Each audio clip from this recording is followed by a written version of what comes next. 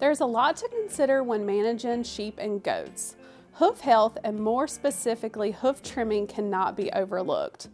There are a couple of factors that affect the need to trim hoofs. One would be genetics, so the breed that you're working with, and also particular individuals may need hoof trimming more than others.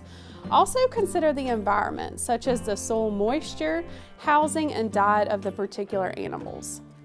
So why do we trim hooves? So we want to encourage proper hoof growth. We also want to open up the hoof so that air can, can circulate within that hoof to reduce any kind of bacteria growth.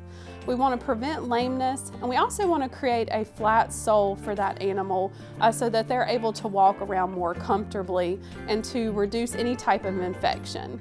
Okay, so let's talk a little bit about the equipment needed for hoof trimming. First of all, you wanna make sure you have some hoof trimmers or some shears.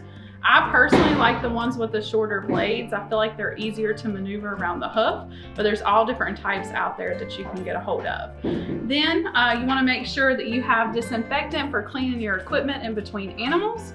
And just in case you um, happen to quick an animal, you wanna make sure you have a blood stop powder on hand. And when it comes to restraining the animals, there are several different things that you can um, that you can get to help you do that. One would be a stand.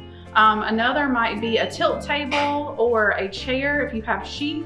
Um, and then if you don't have any of those equipment, um, you can also just do this with a halter, uh, putting it on the animal and tying the animal to a sturdy gate. Or if you have sheep, you can roll them on their dock to restrain them for hoof trimming.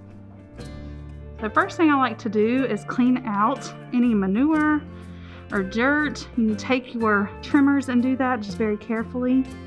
And if the hoof is, is hard, um, if it hasn't rained in a while, you can definitely uh, spray the hoof with water or a disinfectant to get it nice and soft so you can get started.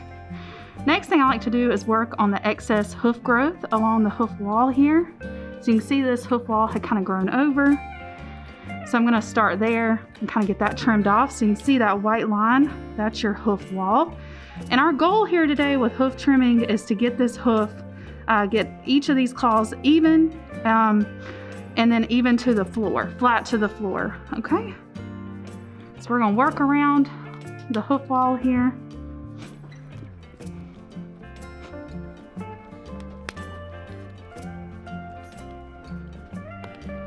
And if you start to see um, pink, you know, just look out for it because you could be, um, you could quick them and they could bleed. So make sure you have blood stop on hand. So nice, just nice and gentle, slow. Take off small amounts um, until you have gotten their hoof trim.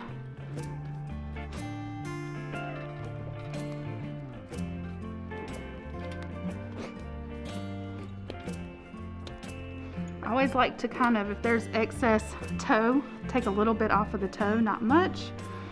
Again, you want to continue to dig that manure out so you can kind of see where you're at. And you may need to trim up the sole a little bit. So on this girl, we definitely need to trim it up just a little bit.